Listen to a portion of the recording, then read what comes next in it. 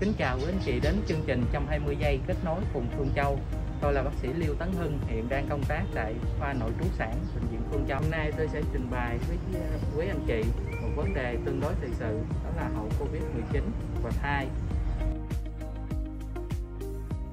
Đại dịch Covid-19 dai dẳng hơn 2 năm qua đã gây thiệt hại vô cùng to lớn về mọi mặt. Mất mát nhiều nhất là sức khỏe và tính mạng của hàng triệu người. Khi thế giới dần quen sự hiện diện của Covid-19 thì ngày càng nhận thấy rõ các hệ lụy và di chứng để lại sau khi điều trị thành công SARS-CoV-2.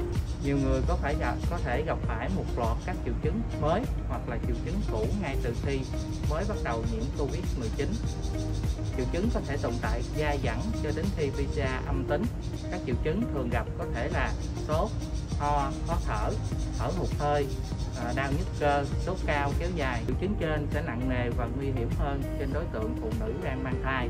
Hậu Covid-19 sẽ tác động tiêu cực lên thai kỳ, có thể gây suy thai, sinh non, thai chậm tăng trưởng, thai nhẹ cân, thậm chí là sảy thai.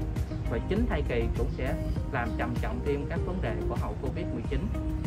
Tình trạng nhiễm Covid-19, cách ly, giãn cách là một rào cản khiến cho sản phụ không đến thăm khám và theo dõi thai được định kỳ. Do đó, để có một thai kỳ an toàn, mẹ tròn con vuông thì thai phụ cần phải tuân thủ lịch khám thai định kỳ và đến khám khi gặp bất cứ vấn đề à, sức khỏe nào liên quan đến sau khi điều trị Covid-19. Trên đây là một số thông tin chương trình muốn chia sẻ đến quý anh chị.